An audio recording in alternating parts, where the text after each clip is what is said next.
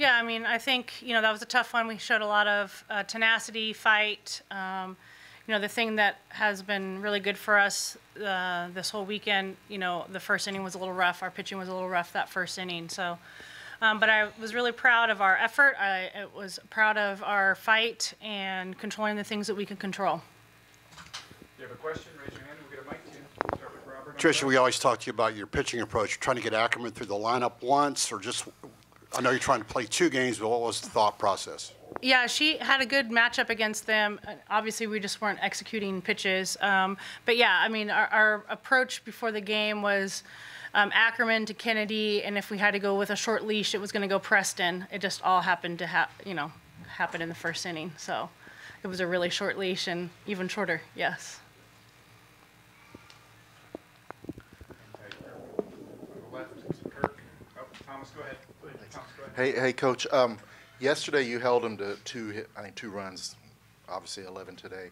What was the difference that they did, or was it your pitching, or what was the main difference there? I think if you watch the game, you kind of know what the difference was. I think we executed our pitches the way we needed to execute it. Um, just had a lot of barrels because the ball was over the white. So there's a reason. Yeah, three pitchers in one inning is never good, obviously. Yeah. Do you feel like that took something out of your team a little bit as far as maybe confidence? Yeah, I didn't think that our confidence was down, and I think it showed with us coming back and answering right away. Uh, I was really, um, I, I thought we were in a good place. We came back and you know got one run, and then um, you know came you know gave up some runs. You know that that next inning, but we kept fighting, and that's the biggest thing. At the end of the day, this game is hard. You have two very good teams on the field, and you just got to keep fighting and competing. And I thought we did a really good job of that today. Do you feel like fatigue played a factor with two games yesterday at all? I, yeah, I mean, we can sit here. I always say they're 18 to 22. How tired can you be? You know, um, but um, you know we've had a lot of games like that. Our our season um, in Florida when we started off there, we had every late we had late game, early game, early game, early game. So I mean that's kind of the way it goes. And you know we had long games and you had good competition on the field, and so.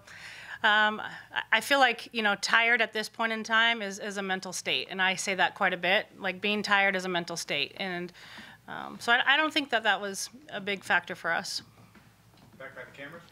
Coach, uh, could you just talk about the decision to bring uh, Riley in the uh, when you did, and then obviously uh, the way that at bat played out, and then after that, Riley, if you could just take me through that at bat. Yeah. Um, I was kind of forced to, to bring her in um, with some things that were going on on the field. So just thought it was good to kind of readjust things. And um, Riley, you know, has done a great job for us behind the plate and has caught obviously lefty a lot, um, Emiley Kennedy. And, um, you know, she had an opportunity and Riley took advantage of it. Um, I think the, I came up to you before you're at bat and I said, hey, get your A swings off. Like, be ready this first pitch, get your A swings off. And she did it. Yeah, as soon as I, I mean, obviously watching the game, she was attacking hitters early, so at that point we had nothing to lose. So I was just, I was taking a hack, and whatever happens, happens. Back by the cameras. Coach, going into the off season, I know it's really, really fresh, but um, what are you going to take away from your first season in, eh, with A and M and with the squad? Yeah, I think um, if you look at how we finish today, obviously not with a win, but our, our fight and our grit on our uh, um, within our program, I think that's something that's big that I've traditionally always had in programs that I've you know coached at, and so I think continuing with that. Um, I, I thought we had really good at bats that last inning. We put runners on base. I mean, we didn't quit, and so you always have a shot. You know, I had we had a big game when I was at ASU against Utah, with two outs, we scored eight runs to win. Like, that's something that you know, hopefully, we will continue to build on here. On your right hand. Yeah, coach, I think it was bottom of the third. I think y'all have runners on second and third, one out 6-2. It felt like that could have been a momentum turning kind of inning for you guys. I think um, they got out of it with two strikeouts. What did you kind of see during those at bats, and, and did that feel like maybe that was the biggest missed opportunity for you guys? You know, I felt like we were going to hit Mac. Honestly, I thought we barreled her all all game. Um, I felt like we got passive, honestly, and, and that usually gets us in trouble. And so when we, you know, I think we took some pitches that watching film we shouldn't have been taking, and uh, and then you have to, you know, kind of play the guessing game, and um, that's that's never going to go well for us. So I think we just, you know, we have, you know, Texas is young too, but we are young and just you know we have tendencies to like start off and be aggressive early in the count and then kind of take in the middle of the game where we kind of get a little passive and then turn it back on in the sixth and seventh. So th- I think that's going to be our key, yeah, moving forward. That was actually going to be my question, but another one was, at the end, when Jeff got thrown out, whatever, was it frustration add up with your team with the, with the errors and the walks and not, not getting the clutch hits like that? When, when things went think- apart? Yeah, us as coaches, we're always going to fight for our team and fight for our players. And Coach Harger, uh, I think if you've watched him, which uh, you guys have obviously this weekend, um, he he's got a lot of passion and he's got their backs. And I am absolutely a okay with what he did because he's going to have all of our players' backs. Did Julia get thrown out or not? I guess not really, but she was told to go to the dugout. So.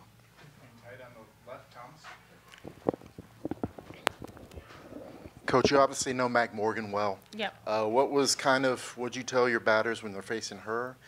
And also, your first impression of uh, playing here? Y'all have been making some trips here. yeah. And if the players could answer about their impressions of, you know, coming here too. Yeah. Um, obviously, I know Mac well. I recruited her at a young age. She came to camp, you know, so I've known her for three or four years. And I just told him, I'm like, she's going to put the ball over the plate. She's going to work in and out. Her ball's got downspin on it. Um, she didn't throw a lot of changeup. She only threw, I think, a couple today. Trent hit one hard that Mia chested up, which that was a heck of a play. Um, but I mean, she's a pretty simple in that way. She does a really good job of, you know, um, being great at that. You know. Um, I think, um, you know, playing here, I, I mean, I love rivalry uh, atmospheres. Um, when y'all come over to Davis Diamond, um, it's going to be spicy, and that's what this is all about, you know? Um, I love it. I'd play in this type of environment every, every time because there's nothing better than college athletics. To. Um, yeah, it was great. I think coming here for the next couple years, the rivalry, like reviving it, it's gonna be so intense. It's gonna be fun, and we're ready. We're ready for the next time. Yeah. Bring it to Davis Diamond. Be ready.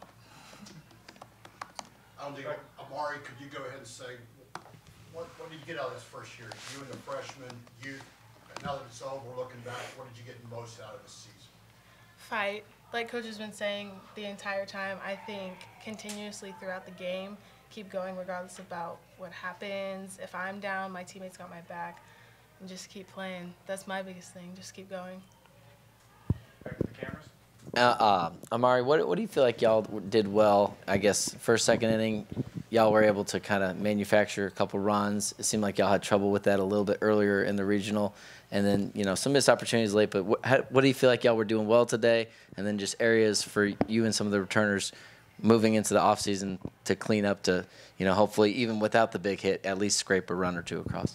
I think in that second inning we just stayed simple and we were able we had our plan, we stuck to it and we didn't go astray from anything like that. And I think taking that into off season and the next couple years just keep it simple and keep fighting and stick to what we know instead of trying to run up another team. Got one last one on the left, Kirk.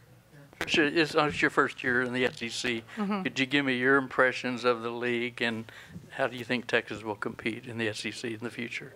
Yeah, I mean it's a great league. Honestly, I think um, there's a lot of really good softball, you know, conferences. If I'm being honest, and I think um, you know as the years go by, like sometimes the PAC is really good, sometimes the SEC is really good, sometimes you know Big 12, ACC. I mean you're you're getting just a parity across the border, um, you know, in our sport, and I don't know. I think that's fun. Um, I think Texas is going to be fine competing.